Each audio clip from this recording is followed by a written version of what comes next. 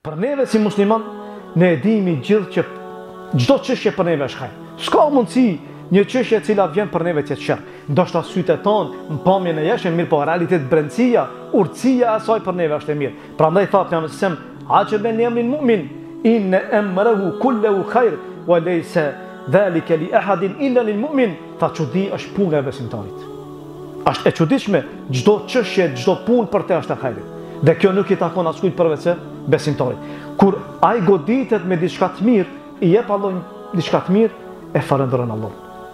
Kurse kur goditet me vështirësi, ban durim, ban sabër. Edhe për te kjo është më e mira.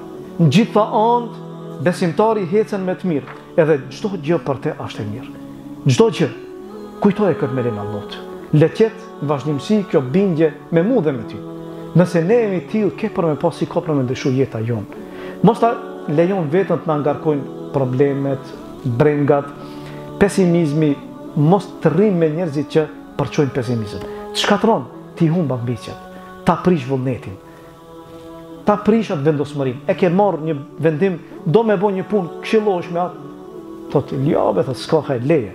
Do me hi në punë këtu, thot, jo, ma mirë shko në Gjermani, thot, çka po rri këtu.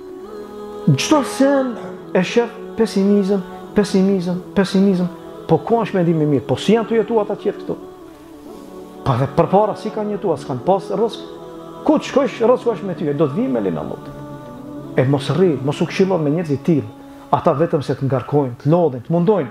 Ji optimist, vazhdimësi, çdo herë mendim të mirë për Allahun. Allahu ke për me pa se Allahu azze ue xhel si do t'i hape dyert edhe rrugët që kurrë s'ta ka marrë mendja që ndonjëherë i ke pa apo i ke paramenduar që do të hapen për ty.